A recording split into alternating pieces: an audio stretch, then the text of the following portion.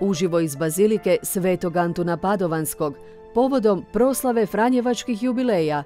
Pratimo svetu misu koju predslavi zagrebački nadbiskup, monsignor Dražen Kutleša. Danas u 19 sati na Laudato televiziji.